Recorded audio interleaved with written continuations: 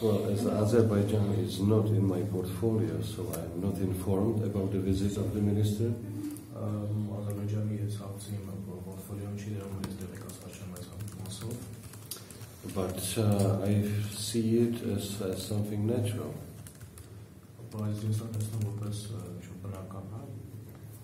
Something natural, okay.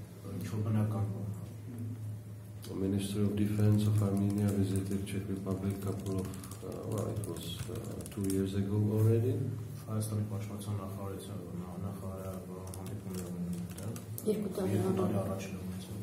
And he had meetings not only with officials but also with military industry.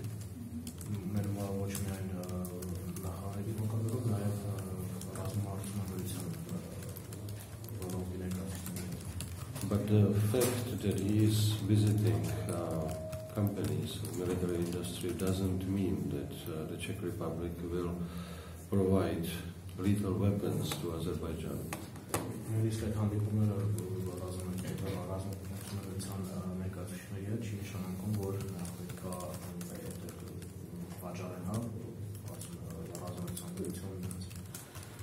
The Czech Republic is respecting the decision decision of uh, senior officials meeting of uh, OSCE countries in back in the 90s, and uh, is not selling weapons to any uh, of the parts of the conflict.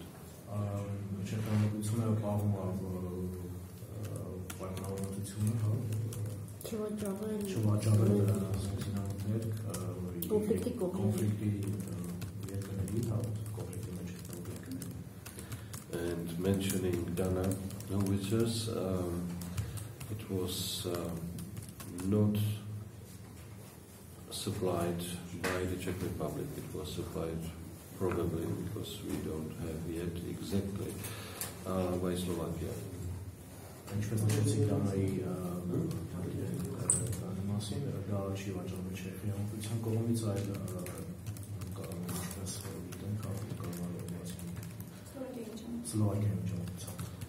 And uh, the Czech Republic um, denied a request for the license for the permit to export uh, any lethal weapon.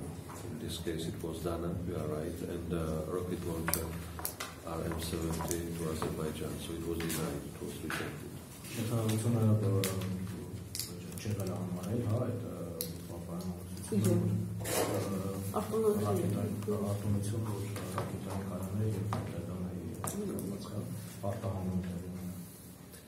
And throughout the meetings again, uh, the minister is uh, for a special uh, forum which is called Future Forces in Czech Republic, the minister of Azerbaijan. And the minister uh, Tonoyan was also invited to this meeting.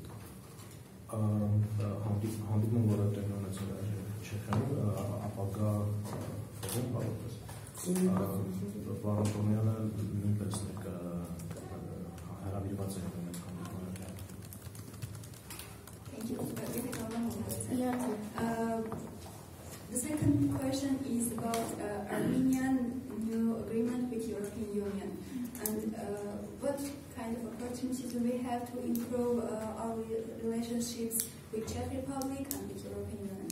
Your opinion, please. И можно я дополню по этому вопросу, когда Чехия, Чехия ратифицирует данное соглашение? Um, I was